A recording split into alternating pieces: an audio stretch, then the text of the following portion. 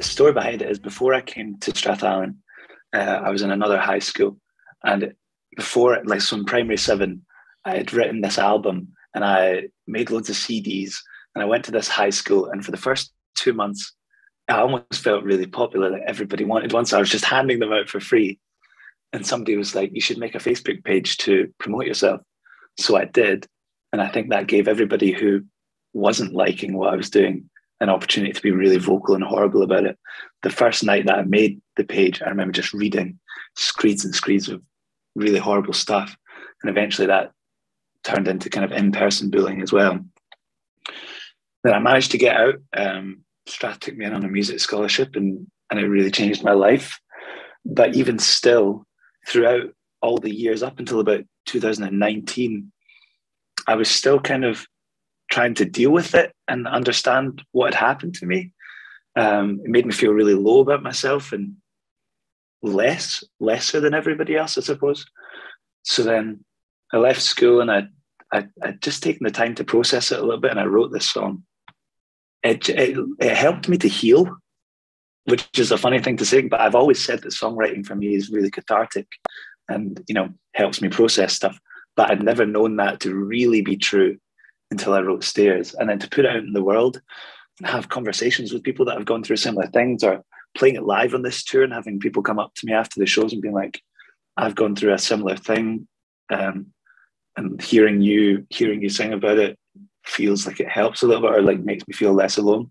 I think that's what music's all about. So it's been amazing releasing it and being able to tell that story.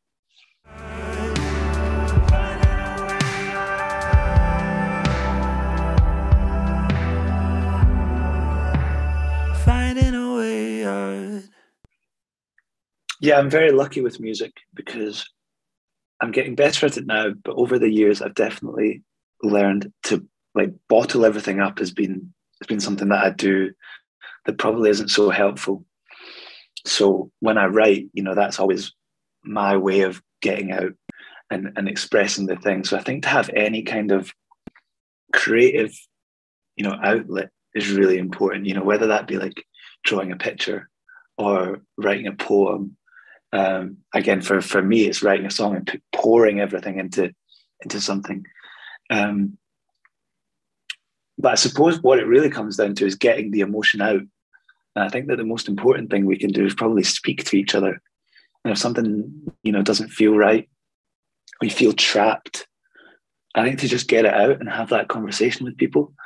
Because ultimately when you're in that dark space i think you feel like you're the only one that's going through it or that nobody else could understand because it feels so dark and consuming for you. But ultimately, most of us go through these feelings and we don't even know that because we don't share it with each other.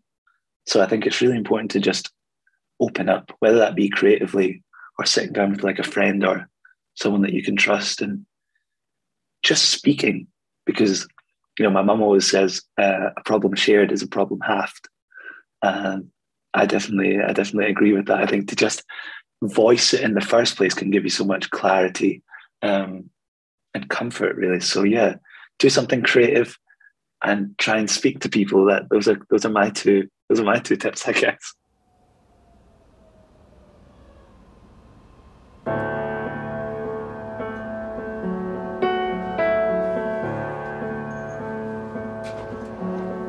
Well, this one was a song that I wrote with my good friend Lewis Ross. And we'd written a song in the morning of the session and we absolutely smashed it. And I thought, okay, we've got time to write another song. So I was having a think about something that I'd really like to write about. And I remembered that my best friend from Strath was moving to London. And I was feeling kind of at this point in my life a bit kind of stuck. You know, I, I was loving I was loving my job, but it wasn't in the music industry, you know, and that's what I always wanted to do. And so I was seeing this person who I loved go off and, and strive somewhere else. And I kind of felt a bit left behind. So we went back into the room and I had a good chat with Lewis about it. And we ended up writing this song. But really, as much as it's a song about getting left behind and I guess feeling lonely, it's also a celebration of friendship and love because I think when you miss somebody or you're upset that they're no longer as present in your life, I think that that means that you care for them immensely. And I think ultimately that's a beautiful thing. So when that's taken away, I think it's a reminder of how beautiful the thing that you had in the first place was. Let's hope for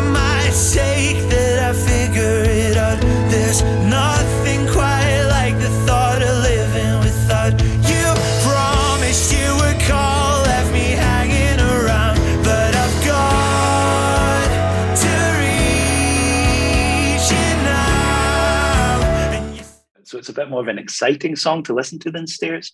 Like it's upbeat. It's got it's got more of a band kind of feel to it with like big drums and guitars. Um, but I really hope everybody likes it. I'm really excited about it.